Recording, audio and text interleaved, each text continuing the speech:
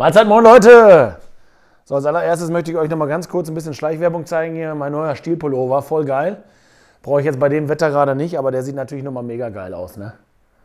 Wenn ich den anhabe, sieht der, sieht, sieht der natürlich noch geiler aus, aber nett hat er mal gesehen, also wirklich klasse. So, jetzt geht's weiter. Wir haben einen äh, Aufsitzmäher hier gerade. Unser, unser Leihmäher ist beim, beim Kunden. Und jetzt haben wir den, den äh, einmal im Aus, Austauschgerät haben wir jetzt den Aufsitzmäher von dem Kunden hier stehen. Der 5097 und den zeige ich euch jetzt mal. Weil wie ich das gesehen habe im Internet, äh, gibt es da nicht viele Daten drüber. Und wenn ihr euch so ein Teil hier bestellen wollt, müsst ihr natürlich wissen, was ihr kriegt. Dann gehen wir mal vorsichtig am Julian vorbei hier, damit wir den bei der Arbeit nicht stören. Das war richtig.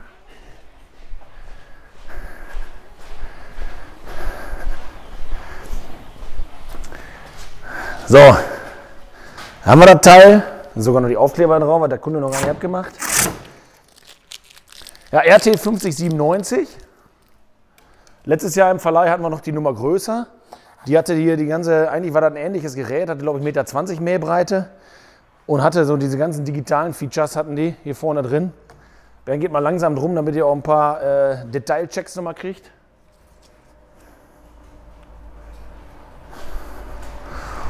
Dann nehmen wir gleich mal Maß. Aufkleber auch mal ab. Wenn wir einmal hinten bis. Können wir das auch noch mal zeigen hier, wie die Mechanik dahinter aussieht.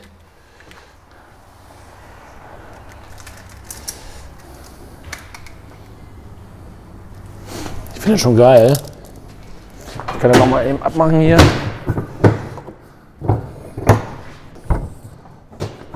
So, gar nicht so schwer. Aha. Also, wenn er drin ist, so rausziehen. Da siehst du vielleicht ein bisschen besser.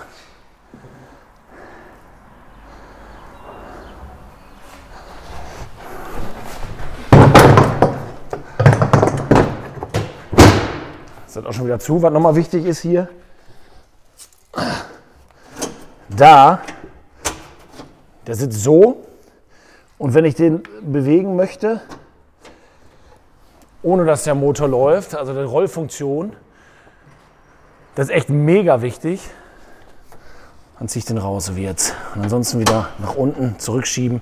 Jetzt ist das Getriebe vom Motor angeschlossen. Das kann ich nicht mehr schieben.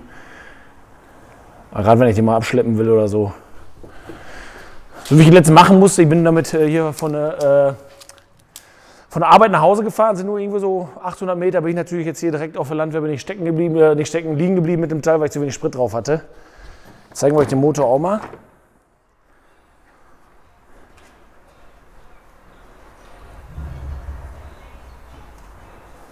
Das ist schon Motor.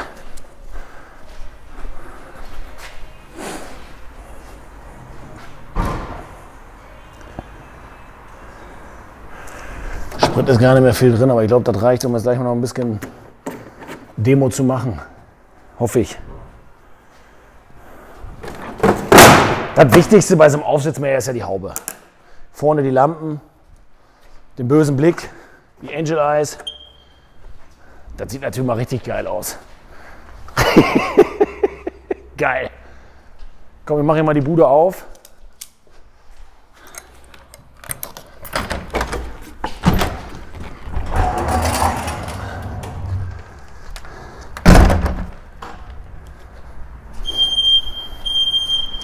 Warnsignal, Zündung ist noch an. So, hier, wenn wir das, wenn wir das Gerät, wir können mal hier so ein bisschen die Funktion erklären.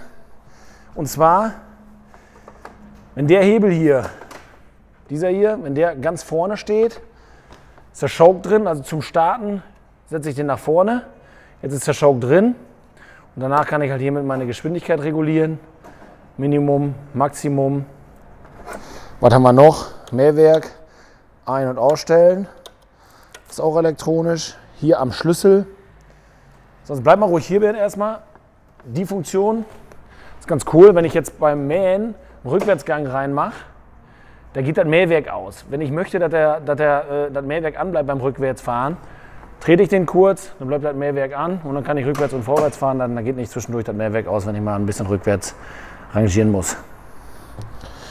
So, zur anderen Seite.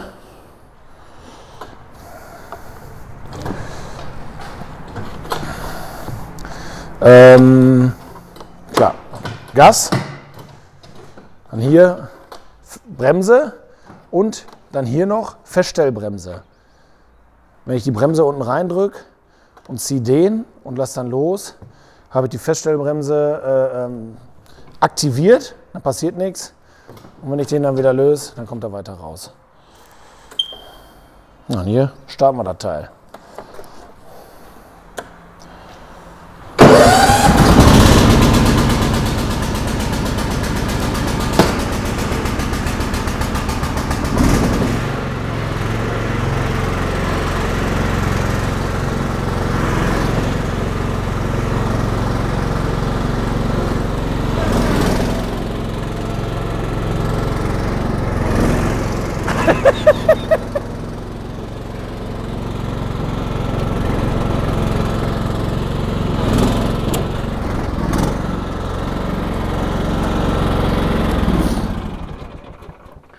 So, schön in der Sonne. Besseres Wetter, Wetter hätten wir uns ja gar nicht wünschen können dafür. So, jetzt haben wir ja jetzt hier keine so richtig tolle Wiese. Das ist ja mehr so eine Acker-Schachtelhalm-Wiese oder was. Aber da brettern wir jetzt trotzdem mal drüber, machen dann Mähwerk mal ganz da unten, dass ihr mal ein bisschen, bisschen Action seht. Ne? So, hier nochmal einmal, wenn du nochmal einmal rumkommen kannst. Hier haben wir noch die, die äh, Mähwerkverstellung. Von der Tiefe her, die drücke ich hier nach innen rein. Unten ist ganz niedrig. Hier ist ganz hoch, sieht man auch unten. Runter, hoch. Je nachdem. Ich denke mal so von der Praxis her drei bis vier für einen normalen äh, äh Standardrasen. Und wenn ihr ein bisschen größere Wiese habt, dann so wie hier, da könnt ihr ein bisschen höher machen. Ne? Ah!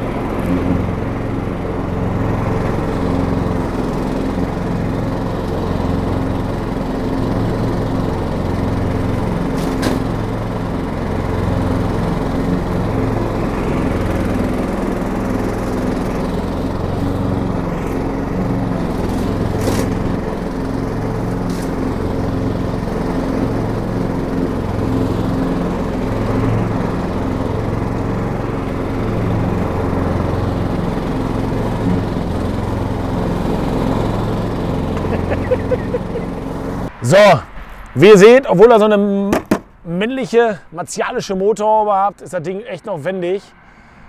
Ist ja so, je kürzer so ein Gerät ist, desto schöner und wendiger ist er, aber ich finde, das ist echt in Ordnung.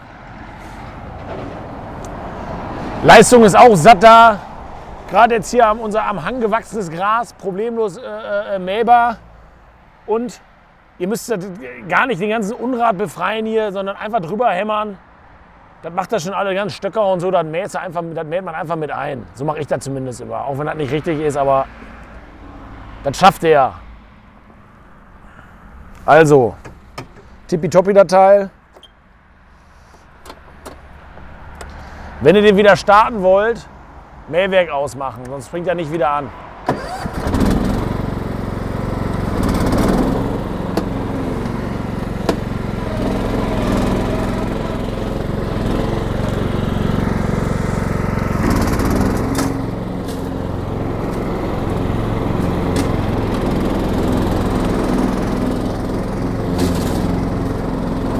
Hier da.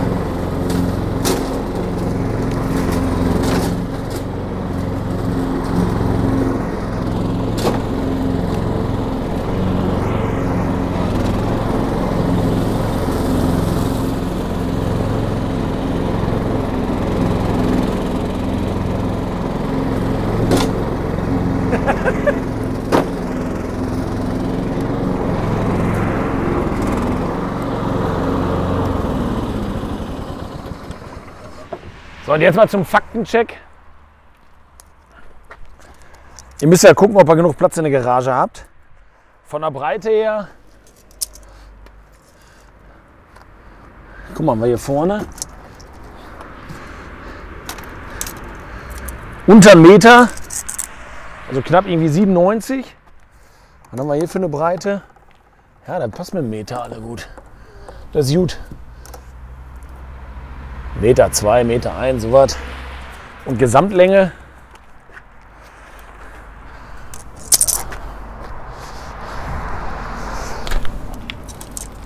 Zwei Meter.